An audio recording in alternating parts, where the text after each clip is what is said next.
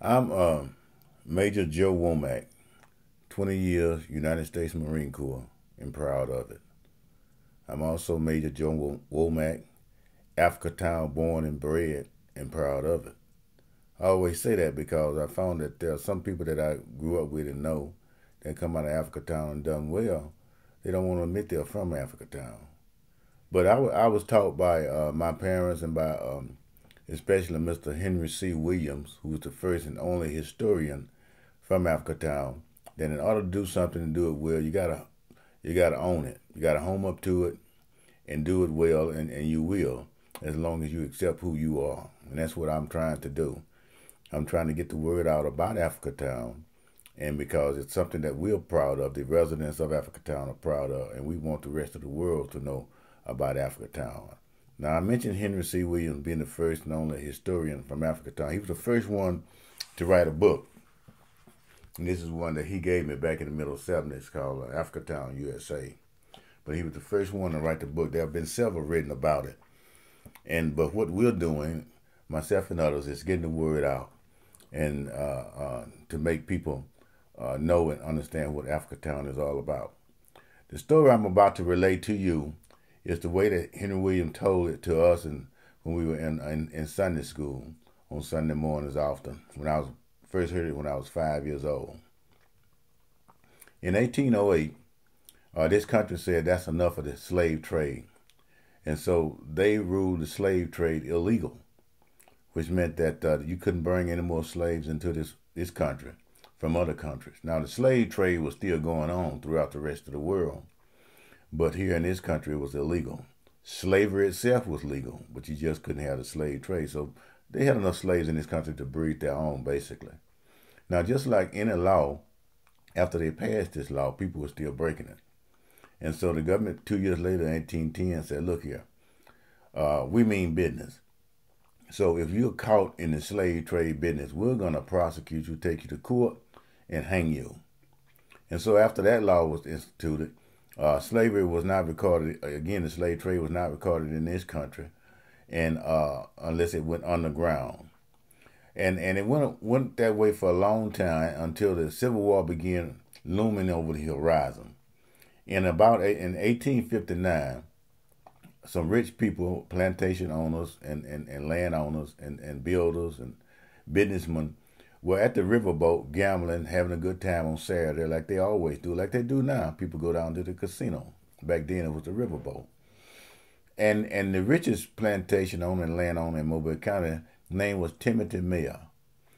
And he made a bet. He said, "Look here, I bet you I can bring slaves into this country right under the government's nose, and they'll never catch me." The other guy said, "No, you can't." He said, "Yes, I can."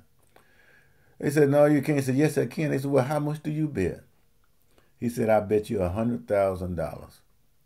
Now, we put that to the calculator and we figured out $100,000 back then is worth about $2.5 million today. And so they shook hands and the bet was on. Now, Timothy Mill was a powerful man. He wasn't used to losing anything, bets included.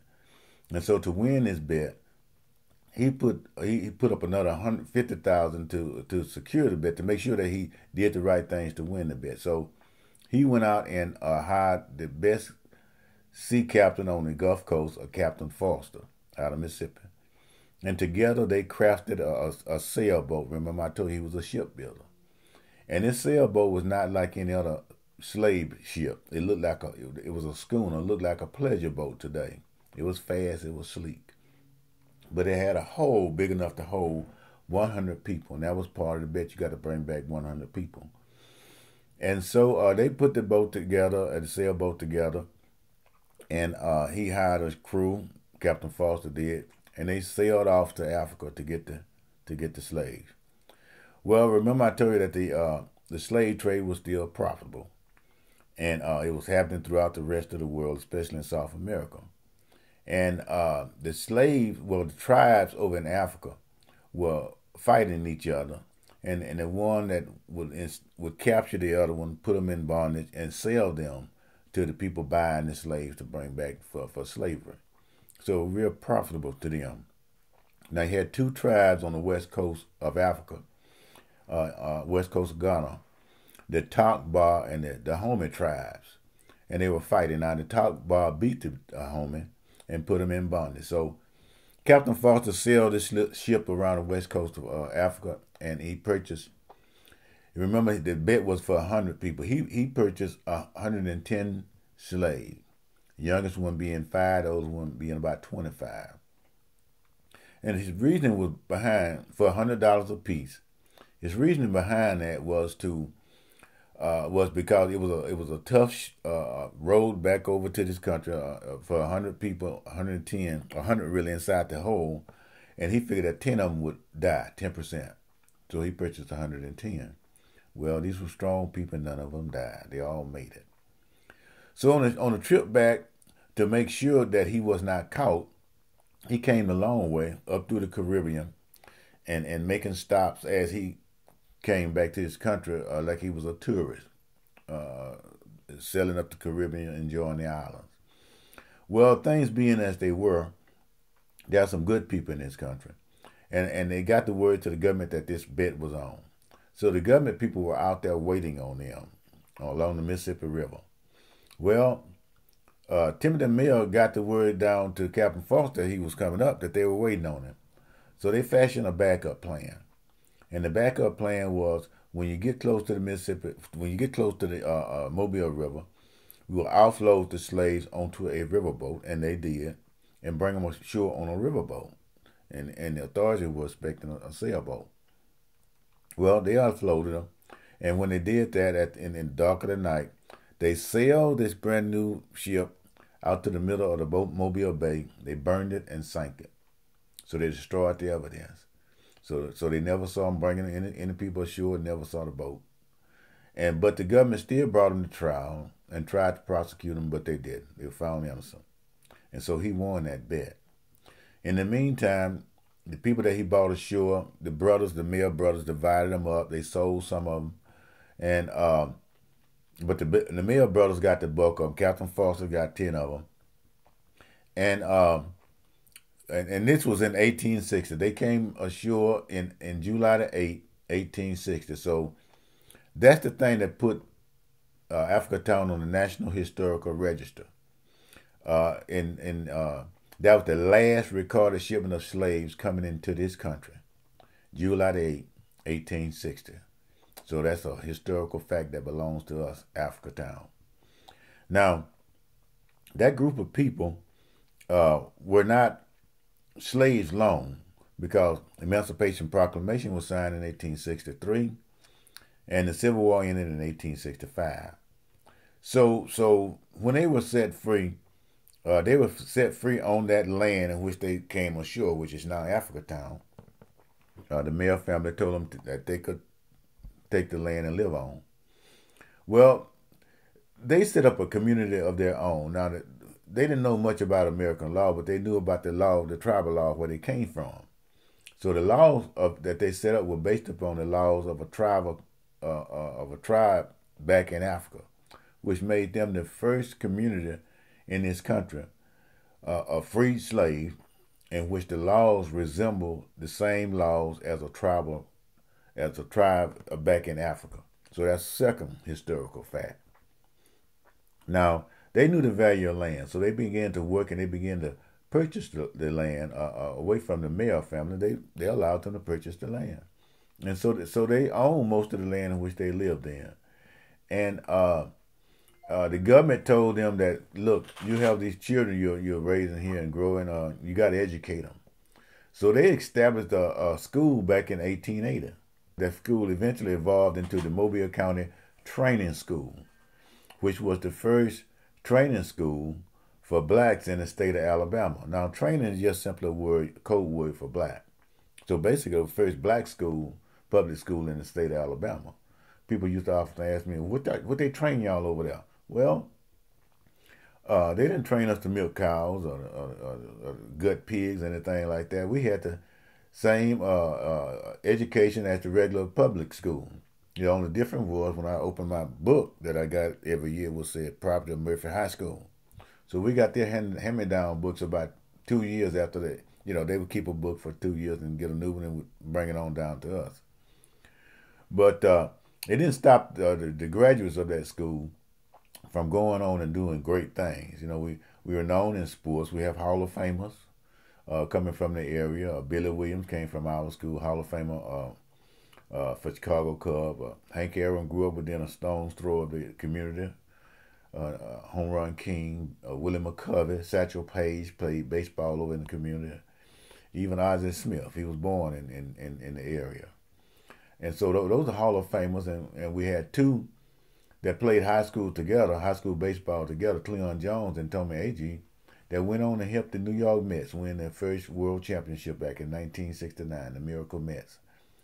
So, so we we experienced great success, especially in sports and in other things, uh, at that school. And so, and this school, uh, County Training School, was accredited in 1910, which made it the first public school in Mobile County to be accredited and and and uh, there were private schools, of course, but it was first public school. So that was rich history in the community, and in uh, the Africatown community and Mobile County Training School. Four points of history: the last slave shipment, first community in which the uh, laws was based on a tribal law, uh, first school for blacks in the state of Alabama, and the first school, to be, public school, to be credit, accredited in, in, in, in Mobile County. And so it has a rich tradition, and we're doing our best to uh, keep it up. The school still exists, the community is still intact, and we're doing our best to, to keep those things intact and, and to even make them better.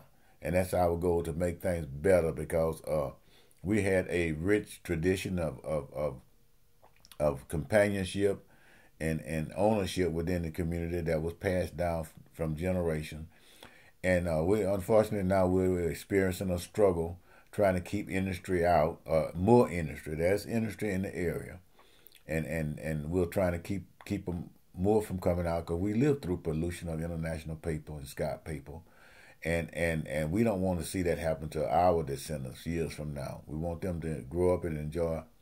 Uh, freedom, uh, education, and, and expression, and anything else, just like people in the rest of the world, and not having to worry about a storage tank blowing up in the middle of the night and, and, and, and hurting someone. So that's why we love the school, love the community, and, and, and we, we fight for what's right uh, within the community. And uh, and and the only thing I can say is, is well, the, the story continues, and that's what we want. We want the story to continue for, for decades and, and, and, and get better, and that's what we're striving for. What, what we're really looking for is is is people that want to do whatever they can do wherever they are. If it's a financial donation, we've established a, a nonprofit organization here in the community called the Africatown Community Development Corporation. We also have another uh, uh, organization that we're using to fight and keep pollution and heavy industry out of the area called Mobile Environmental Justice Action Coalition. And of course, we have the Mobile County Training School Alumni Association, which is a strong organization.